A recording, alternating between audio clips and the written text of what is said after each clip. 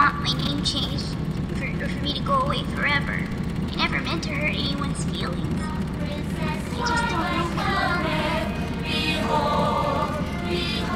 Equestria Girls, dolls that rock, really sing. The new Adagio Dazzle Sings too. Got to stop bumping into each other like this. Ooh, some pony's got a crush on the new guy. And we'll teach you just how much better life can be without your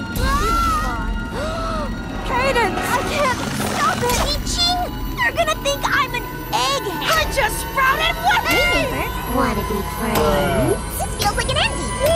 Tiny little nightmare. Oh, Enough! I cannot allow this to continue.